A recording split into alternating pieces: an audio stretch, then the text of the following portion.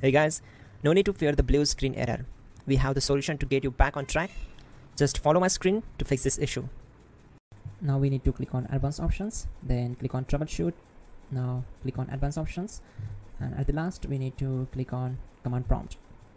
Now execute this command carefully. Type chkdsk slash f slash r c colon and hit enter to execute this command. Type c colon and hit enter to execute the command. Type cd space c colon slash and hit enter to execute the command. Type cd space windows and simply hit enter to execute the command. Now type cd space system32 and we need to execute this command. For that simply hit enter. Now execute this command.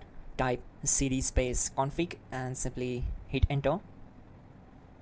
Now execute this command carefully. Type in md space backup and simply hit enter to execute it.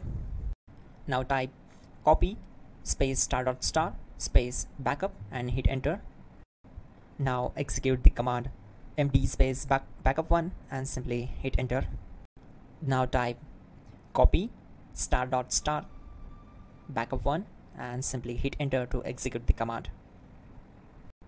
Type in cd space regback and hit enter to execute the command. Now type dir and hit enter. Now type copy space star dot star space dot dot and hit enter. Then type all and hit enter to execute the command. Now type bootrec space slash fix mbr and simply hit enter. Now type in bootrec space slash fix boot and simply hit enter to execute the command. Now type in cd space c colon slash and simply hit enter to execute the command. Now type cd space windows slash system32 slash config slash regback and hit enter to execute. Now type this command bcd edit space slash export space c colon slash bcd backup and hit enter. Now type cd space c colon slash and hit enter.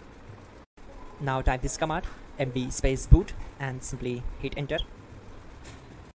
Now type cd space boot and simply hit enter. Now type md space bcd and simply hit enter to execute this command. Type cd space c colon slash and hit enter. Now type attrib c colon slash boot slash bcd dash h dash r dash s and hit enter. Now type ren space c colon backslash boot backslash bcd space bcd.old then hit enter. Now type bootrec space slash rebuild bcd and simply hit enter. Type exit and hit enter. Now click on continue. It will restart your system. So that's it guys, your problem is solved and you're good to go.